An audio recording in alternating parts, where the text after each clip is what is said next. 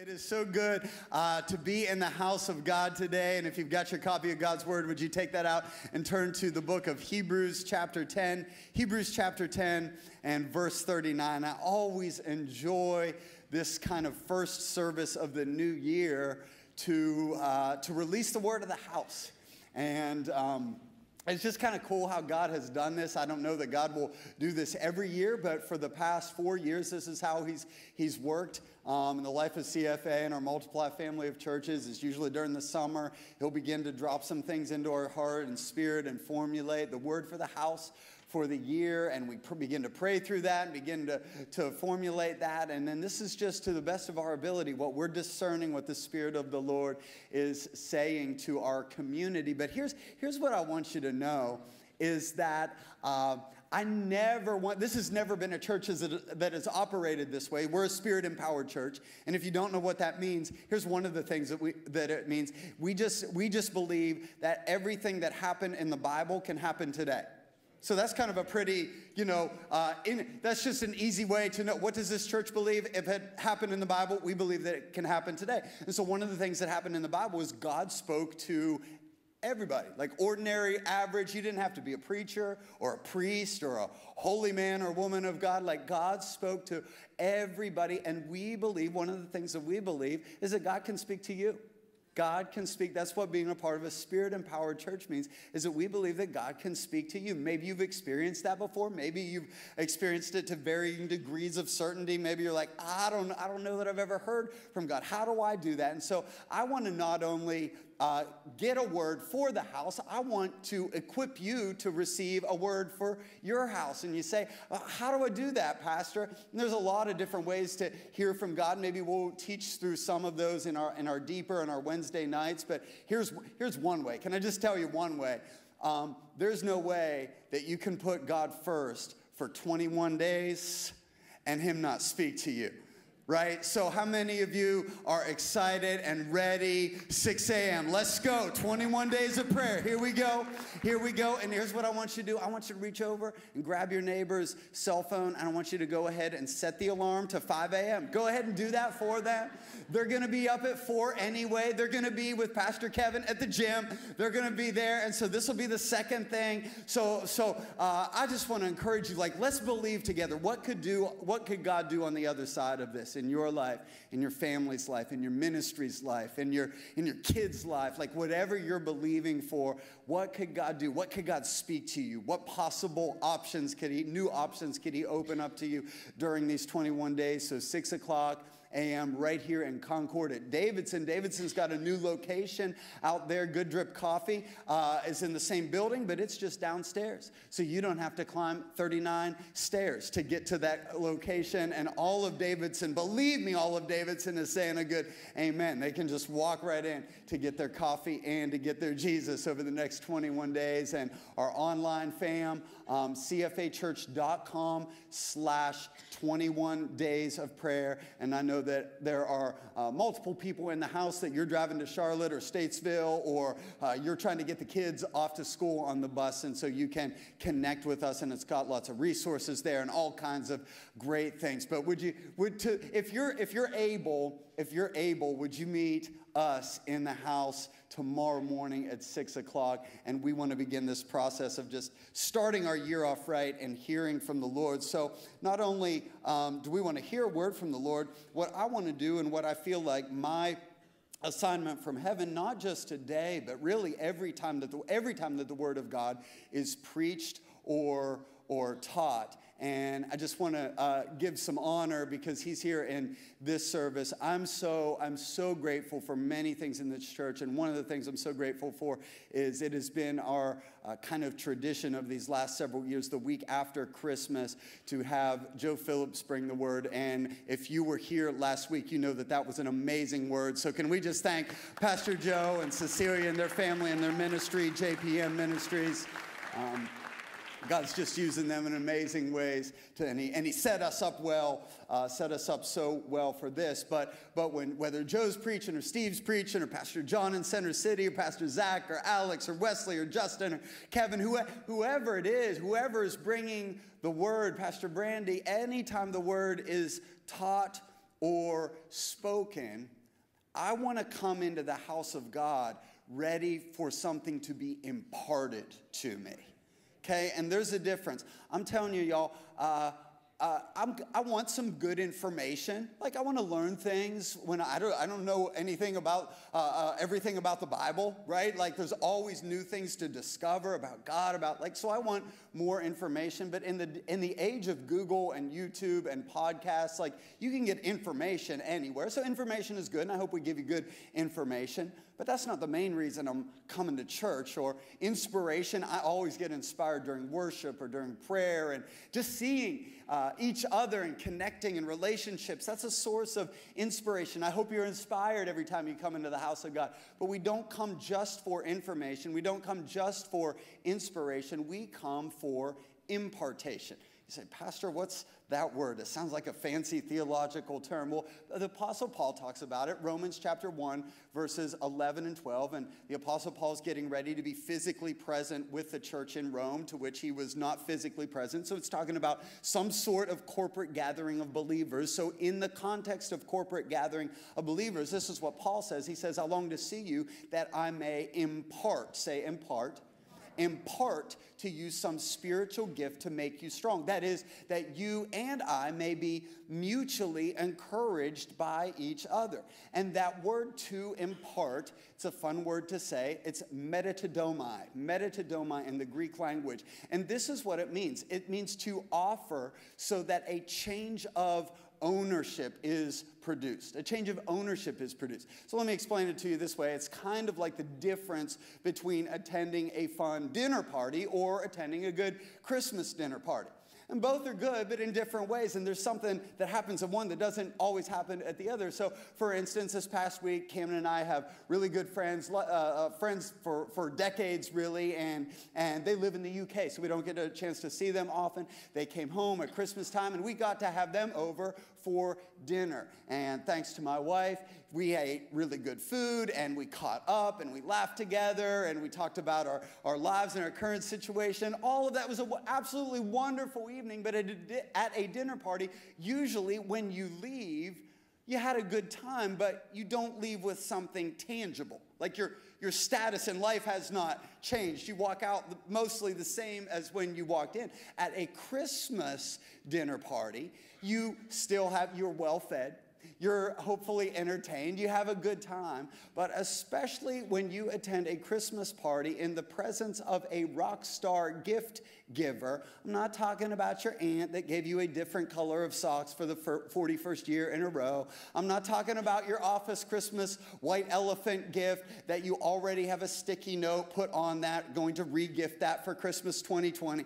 I'm talking about the Christmas, because eh, every family has one. Every family has the rock star Christmas giver. And you are both in awe of them and a little bit mad at them all at the same time. Because this is the person that on March 13th last year at 11:23 a.m. you happen to mention in a side conversation that you walked through Home Depot or Target and you saw this item and they noted it and bought it and gave it to you for Christmas because they were aware of your needs and they knew exactly what you needed for that season and that situation. Can I tell you that your God, your heavenly Father is the rock star gift giver of all gift givers. The Bible says for God so loved the world that he gave his only begotten son. And so each and every time you come to the house of God, you're not coming to hear a good story. You're not coming to hear a good song. You are coming for your God, your heavenly Father, to impart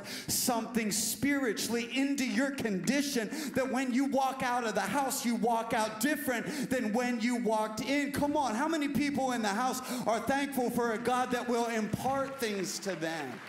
God knows what you need. That's why I don't ever want to miss church because I know I need something each week. I need something. And so when we're in the house of God, we come for an impartation of the Spirit. Here's the bad news I'm still in my introduction. The good news is when I finally do get to the message, the actual message is not that long, and so we'll get you downstairs to Ron's chicken as quickly as possible before you start your uh, 21 days of prayer and some fasting mixed in with that. But let's, uh, let's be good bears and let's stock up.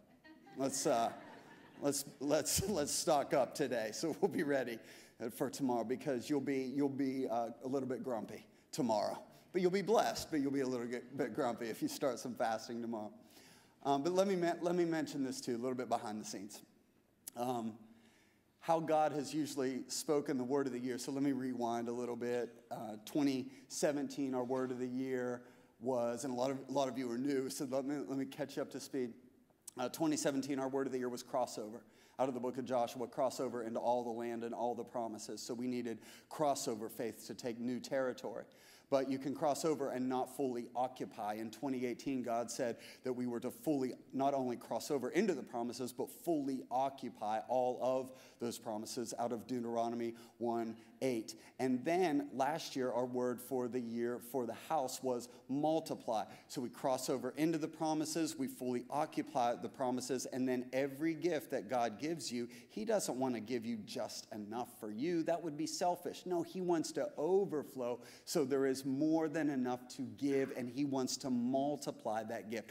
And I would suggest to you that that's a bit of a template if you'll look for it throughout Scripture, is that we cross over into new territory, we fully occupy that territory, and we multiply out of that territory. So, not only does God, so some behind the scenes things, God will speak to anybody who will listen, and then God usually speaks in what, I, what, what uh, theologians would call progressive revelation. And that simply means that the first inkling of what you sense you hear from God is more like a grayscale pencil sketch. It may be kind of fuzzy. You're like, oh, is this God? Is this me? Is this somebody? Like exactly what's going on here. And then when God brings the fulfillment to that promise, it's the high definition, visual, full color uh, uh, picture of what he wants to do. And oftentimes, when you look back to that grayscale sketch, you, you, you had the concept, but you didn't know. And so there's this progressive revelation. Let me, let me, uh, uh, explain this to you just really tangibly. So, last year, when God said our word for the year was multiply, we had no idea that Center City Church was on the radar for that. So, what happened is, is God launched Pastor John and Jess out to Charlotte and brought this uh, congregation that we helped to start 10 years ago, brought it back into this multiply family, brought Pastor David and uh, uh, Dara into our family, like this whole different thing. But we, did, we didn't know. And oftentimes, when God speaks to you, you'll just know the first step and you just got to obey the first step. And then God will give you the second step and you got to do the second second, and that'll unlock the third, and all of that different things. All that to say, um, God's not even remotely done with multiply in, our, in the house. So, so let me go back to Genesis 1:28 and just, just tease this a little bit. And God blessed them and said to them, Be fruitful and multiply and fill the earth and subdue it, and have dominion over the fish of the sea, the birds of the heavens, and over everything that moves along the earth. See, multiply is the original commanded blessing. Multiply is our calling. Multiply is our command. Multiply is our blessing. Multiply is our destiny. Our response to all of this, our response to crossover, our response to occupy, and our response, especially now, to multiply is what we are sensing the word of the year for the house for 2020 is. And it's simply this yes. Say yes. See, that feels good to say, doesn't it? Do you want a second helping of dessert? Yes. Do you want a second cup of coffee? Yes. It just feels right to say yes. So, where did this idea of yes came from? Yes comes from the book of Hebrews. So, in Hebrews chapter 11, um, it's, what they, it's what they call the Hall of Faith. It's kind of like the Hall of Fame, but it's like the spiritual Hall of Fame. So in Canton, Ohio, every August, they induct the new class into the Hall of Fame, and you have offensive linemen and linebackers and cornerbacks and quarterbacks, and they put on these mustard yellow jackets and they give speeches, and it's for the best of the best. It's for the best, the best safeties and the, the, the best defensive linemen and in baseball in Cooperstown, New York, and hockey and golf. And the, but they have this like the Country Music Hall of Fame, the Rock and Roll Hall of Fame in Cleveland, Ohio, and all of these different Hall of Fames that it is like these are the best of the best in their profession make it into this Hall of Fame. And so Hebrews chapter 11 is kind of like that. It's the biblical, it's the spiritual Hall of Fame. A lot of fascinating men and women of God in this chapter. We're going to walk through a lot of their stories over the next several weeks, but let me give you an overview of just some of them. Abel. Abel was in this hall of faith. God released worship through him that reverberated through the heavens with a sound more powerful than Hillsong, Elevation, and Bethel combined. Enoch had a prayer and devotional life that was so amazing that God took him right up to heaven. Noah became one of the greatest architects, designers, builders in history. Oh, and by the way, saved the human race from extinction while he was at it. Abraham and Sarah became the father and mother of one of the greatest spiritual movements of all time. Isaac spoke such powerful blessing over his sons that we still see the multiplication of their lineage thousands of years later. Moses' parents raised a world changer in the midst of a culture of slavery and oppression. And how did God do it? How did God use these people in such an amazing way? I'm telling you, it was not because of their talent, it wasn't because of their ability, it was not because of their riches, their wealth, their social status, or their heritage or lineage. It was simply that they responded with a yes to God. They lived their life with a holy yes. I think that is one of the best definitions that I have ever heard of faith because when we think of faith, it can be like, what is this uh, nebulous concept of faith? Here's one of the things that faith is faith is saying, saying yes to God. In fact, I would, I would submit this to you that faith is not believing that God can do something. I, I don't think that that's what faith is. See, that's called a philosophy. Faith is believing that God can do something through you. And I think that there are too many in the church that have a Christian philosophy, but they don't have a Christian faith. They believe that, it, it, that God can do it, they just don't know that God can do it through them. Let me explain it like this Go ahead and take out your cell phone, and if you'll open it up to your camera app, and if you will make sure that your camera is facing outward, and as you do that, what our media team is doing is they are now uh, hacking your phone and accessing your camera. I'm just kidding. We don't know how to do that. Google does. And so go- I'm just kidding about that too. Maybe, I don't know. But, um, but go ahead and take it out. Show, show the preacher. Show me your, show me your phone. And, and so cam- camera app open and looking outward. And this is just a representation of you, your lens looking outward. And I want you to answer this out loud with yes, because these are not trick questions. Can God heal? Can God eradicate racial disharmony? Can God raise up a generation of world changers? Can God bring renewal and revival?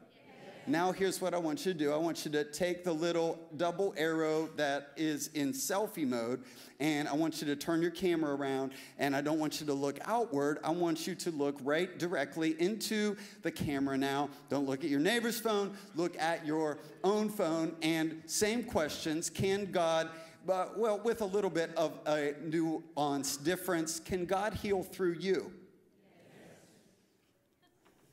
Wasn't quite as strong, was it? and that's what happens.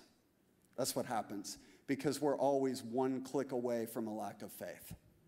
And can I show you what happens? Is that oftentimes we believe that God can do it. See, our, our, our lack of faith is not a lack of faith in God.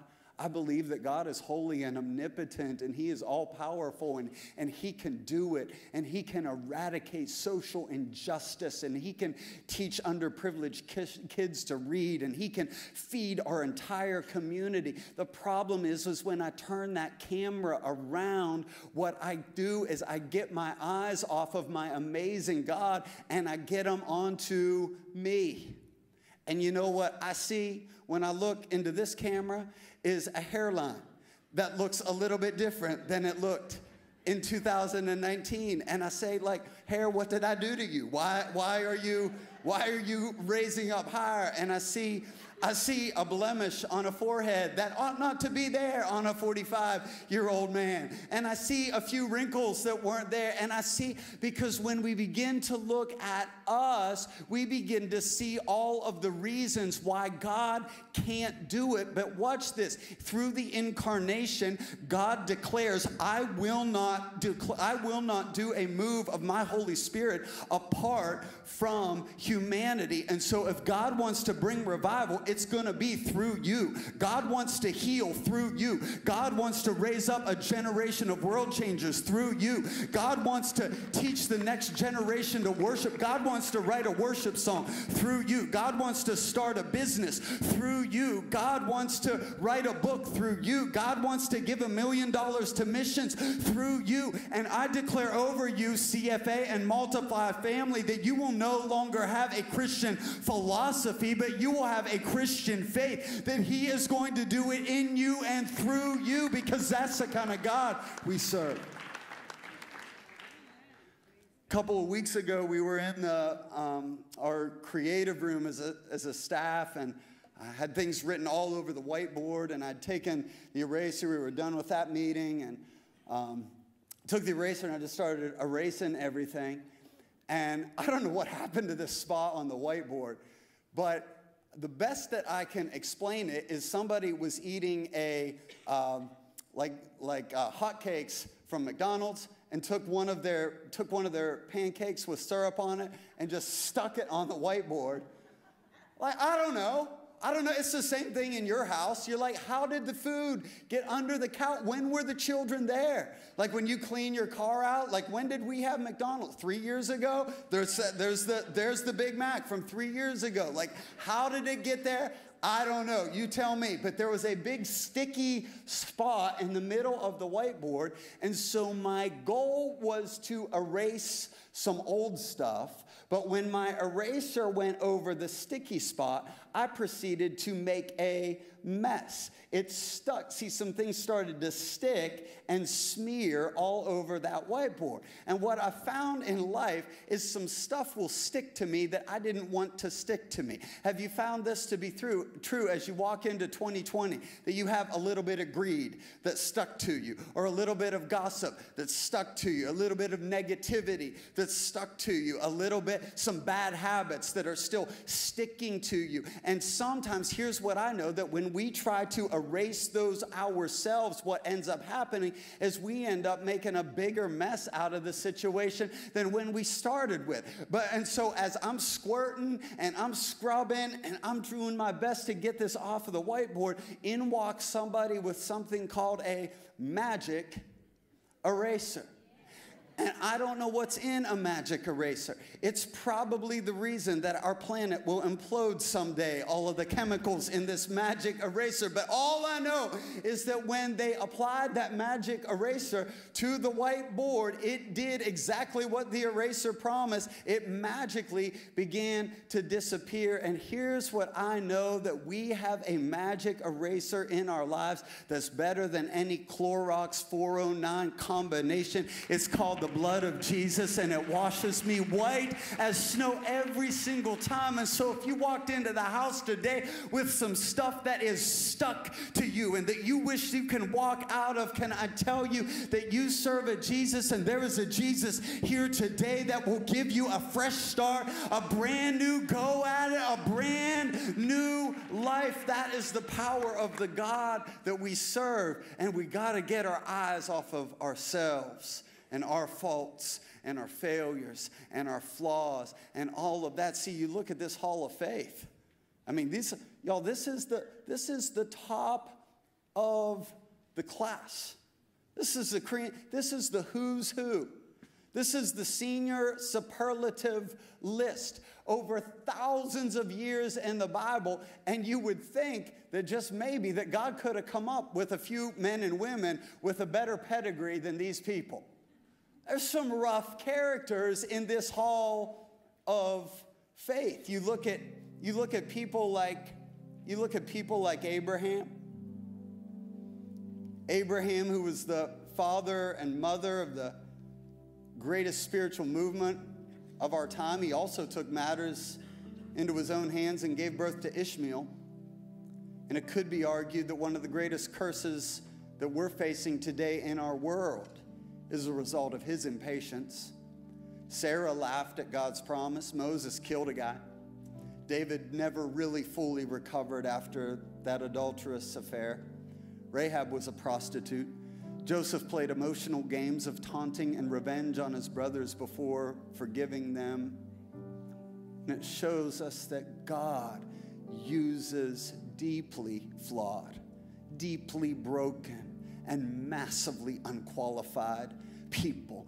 What got them on this list? It was their faith. It was their yes. A life of faith looks like saying yes to God. What could God what could God do through you? What problem could God solve through you? What disease could God heal through you? What book could God write through you? What life could God impact through you? What neighbor could come to Christ this year through you? What could God do through you? Hebrews 10:39 sets up this hall of fame, this hall of faith like this and it, it says this and I want to impart this to you because this is your heritage and this is your destiny. Hebrews 10:39 says, "But we are not of those who shrink back. And I speak that over you in the name of Jesus. That when problems come, you will not shrink back this year. When difficulties come, you will not shrink back. When somebody walks up to you and tells you all of the reasons why it can't be done, you will not shrink back. When the enemy gets inside your head and reminds you of all of your faults and failures, you will not shrink back. When every force of hell comes against you, you will not shrink back because that's not who you are. The Bible declares over you, you are not of those who shrink back, but you are those of faith. You are people of faith. You are men and women of God, and God wants to do something amazing through your yes. Would you take out this card at every location? There should be a pen in front of you in just a moment.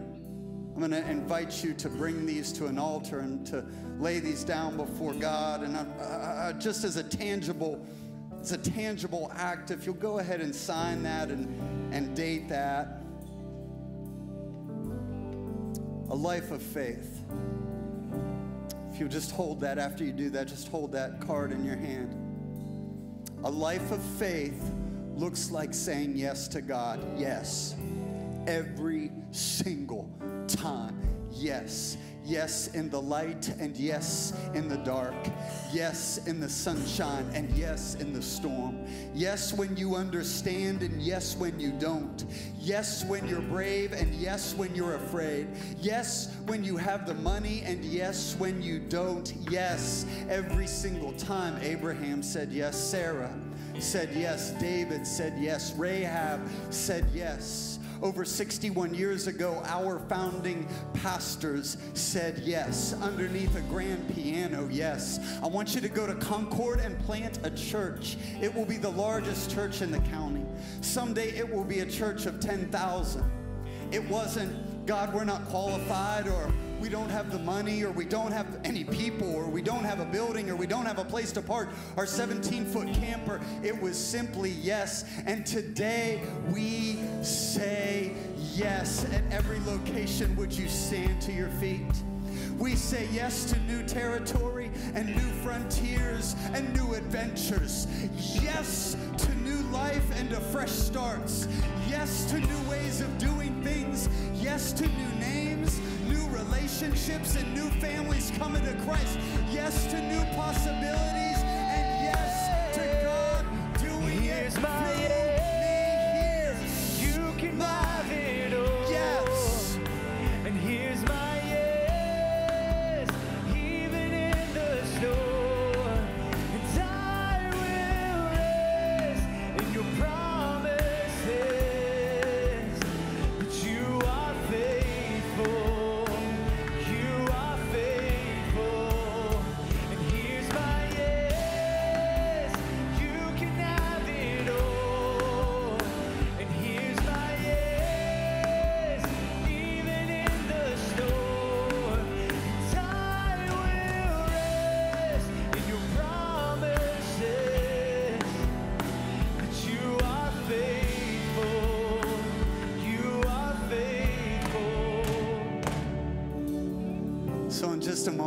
invite you forward to lay this card down at the altar for a couple reasons. One, I think sometimes it's good just to have a tangible response that gets us out of our routine and to, to reaffirm, or maybe for the first time, to say yes to Jesus. Here's the second reason over the next 21 days, this auditorium is going to be filled with prayer warriors. And we're going to take these cards and we're going to call out your name to Jesus. And we're going to pray for you. We're going to pray for your family. We're going to pray for your business. We're going to pray for your ministry. And we're going to believe with you that this will be your best yes ever. And so after you do that, we want to pray with you one more time. So after you lay this down, if you'll just return to your seat for a final prayer. But as the worship team leads us, would you come? Here's my